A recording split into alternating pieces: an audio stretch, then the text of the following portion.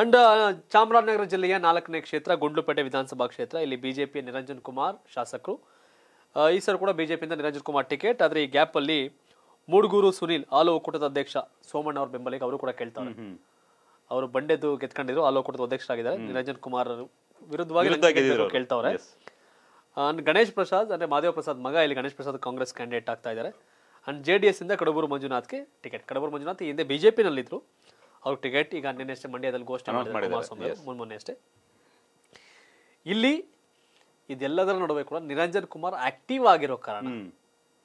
Active ಇರೋ ಕಾರಣ ಬಿಜೆಪಿಲಿ ಇಷ್ಟೆಲ್ಲ ಬಂಡಾಯ ಇದ್ರು ಸಹ ನಿರಂಜನ್ ಮುನ್ನಡೆಯನ್ನು ಕಾಯ್ದುಕೊಂಡಿದ್ದಾರೆ. ಅಂದ್ರೆ ಬಹಿರಂಗ ಆಗಿಲ್ವಲ್ಲ. ನಾನು ಬಿಟ್ಟು ನಾನು ಬೇರೆ ಪಾರ್ಟಿಗೆ ಹೋಗಿ ಮಾಡ್ತೀನಿ ಅಂತ ಇನ್ನು ಯಾರು ಹೋಗಿಲ್ವಲ್ಲ? ಹೋಗಿಲ್ಲ. ಅಂದ್ರೆ ಕಡಬೂರು ಮಂಜುನಾಥ್ ಬಂದಿದ್ದಾರೆ. ಬಟ್ ನಿರಂಜನ ಸೋಲ್ಸುವಷ್ಟು ಮತ ಈ ಕಡೆಗೆ ಶಿಫ್ಟ್ ಮಾಡಿಲ್ಲ ಅನ್ನೋದು ಒಂದು ಮಾತಿದೆ. ಅಲ್ಲಿ ಏನ್ ಚರ್ಚೆ ಈಗ ಕಡೂರು ಮಂಜುನಾಥ್ಗೆ ಬಿಜೆಪಿ ಇದ್ರು ಮೊದಲು ಅವರು ಈಗ ಜೆ ಡಿ ಎಸ್ ಬಂದಿದ್ದಾರೆ ಮತ್ತೆ ಟಿಕೆಟ್ ಅನೌನ್ಸ್ ಆಗಿದೆ. ಆಮೇಲೆ ಇವರು ಸುನೀಲ್ ಇದಾರಲ್ಲ ಆಲ್ ಓವರ್ ಅಧ್ಯಕ್ಷ. ಇವ್ರಿಗೆ ಸಪೋರ್ಟ್ ಮಾಡಿಲ್ಲ ನಿರಂಜನ್ ಕುಮಾರ್.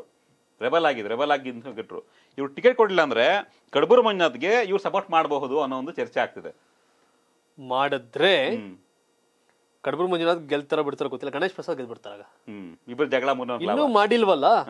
ಹಾಗಾಗಿ ಸದ್ಯಕ್ಕೆ ಈ ತಿಂಗಳು ಬಿಜೆಪಿ. ಡಿಸೆಂಬರ್ಲಿ ಬಿಜೆಪಿ ನಿರಂಜನ್ ಕುಮಾರ್ ಮುನ್ನಡೆನ ನಾ- ನೀವ್ ಹೇಳ್ದಂಗೆ ಸುನಿಲ್ ಹೋಗ್ಬಿಟ್ಟು ಮಂಜುನಾಥ್ಗೆ ಕೈ ಹಿಡಿದ್ರೆ ಮಂಜುನಾಥ್ ಸ್ಟ್ರೇ ವೋಟ್ ಶೇರ್ ಜಾಸ್ತಿ ಆಗ್ಬೋದು ಅನ್ನೋ ಗೆಲ್ಲದ್ ಕಷ್ಟ. ಆಗ ಗಣೇಶ್ ಪ್ರಸಾದ್ ಮತ್ತೆ ಅವಕಾಶ ಆಗ್ಬೋದು. ಬೇರೆ ಏನಾರ ಆಗುತ್ತೆ. ಅದು ಆಫ್ಟರ್ ಆ ಸೇರ್ಪಡೆ ಗೀರ್ಪಡೆ ಎಲ್ಲ ಆದ್ಮೇಲೆ.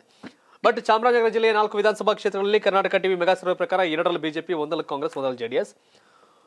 ಎಲ್ಲಪ್ಪ ಅಂತಂದ್ರೆ ಅನೂರಲ್ಲಿ ಜೆಡಿಎಸ್ ಕೊಳ್ಳೇಗಾಲದಲ್ಲಿ ಬಿಜೆಪಿ ಗುಂಡ್ಲುಪೇಟೆಯಲ್ಲಿ ಬಿಜೆಪಿ ಮುನ್ನಡೆ ಇದ್ರೆ ಚಾಮರಾಜನಗರ ಕ್ಷೇತ್ರದಲ್ಲಿ ಕಾಂಗ್ರೆಸ್ ಮುನ್ನಡೆಯನ್ನು ಕಾಯ್ದುಕೊಂಡಿದೆ. ಮನೆ ಮಂದಿಯೆಲ್ಲ ಪ್ರತಿದಿನ ಜಿನಿ ಮೊಳಕೆ ಕಟ್ಟಿದ ಕಾಳಿನ ಪೌಡರ್ ಆಹಾರ ಸೇವಿಸಿ ಡಬಲ್ ಎನರ್ಜಿ ಪಡೆಯಿರಿ. ಯಾಕಂದ್ರೆ ಮೊಳಕೆ ಕಟ್ಟಿದ ಕಾಳಿನ ಆಹಾರ ದೇಹಕ್ಕೆ ಹಂಡ್ರೆಡ್ ಪರ್ಸೆಂಟ್ ಪೋಷಕಾಂಶ ಒದಗಿಸುತ್ತೆ.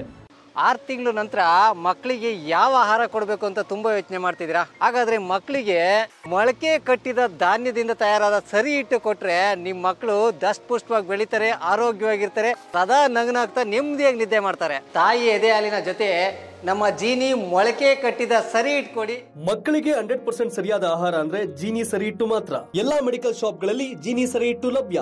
ಅರ್ಧ ಕೆಜಿ ಚಿಕನ್, ಅರ್ಧ ಕೆಜಿ ನಾರ್ಕ್ ಚಟ್ಟಿನಾಡು ಬಿರಿಯಾನಿ ರೈಸ್ ಮಸಾಲ ಇದ್ರೆ ಇಪ್ಪತ್ತು ನಿಮಿಷದಲ್ಲಿ ಸೂಪರ್ ಆದ ಬಿರಿಯಾನಿ ರೆಡಿ ಆಗುತ್ತೆ.